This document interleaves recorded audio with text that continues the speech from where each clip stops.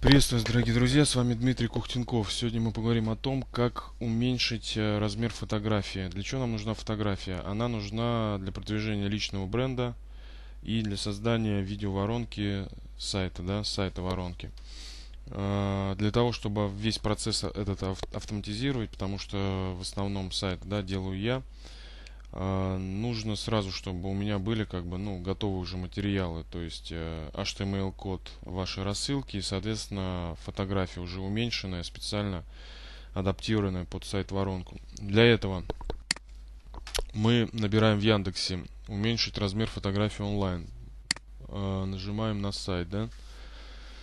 Заходим на сайт. Здесь у нас э, нужно загрузить фотографию. Так, загрузить другое фото. У меня уже подготовленная фотография есть. Я ее выбираю с рабочего стола. Открыть. Она грузится.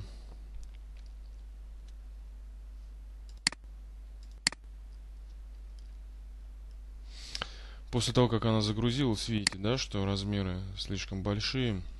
Нам нужно здесь поиграть с размерами фотографии. То есть, ну, оптимально где-то 350 на 500 пикселей.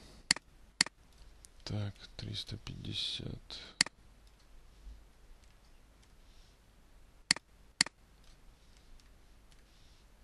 Не всегда с первого раза получается.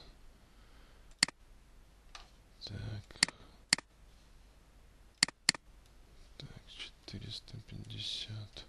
Ага, такая ситуация.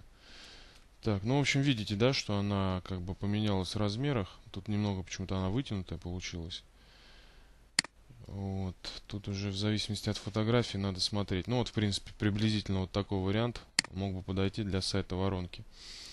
Далее мы нажимаем «Скачать». И, собственно, все, она у нас скачивается. Мы ее сохраняем в отдельную папочку. Вместе с HTML-кодом мы высылаем и фотографию. Пишем э, свой скайп, свое имя, фамилия, фамилию, e-mail, ну и в принципе все. Э, на этом, пожалуй, наверное, все я закончу. Если будут какие-то вопросы, пишите.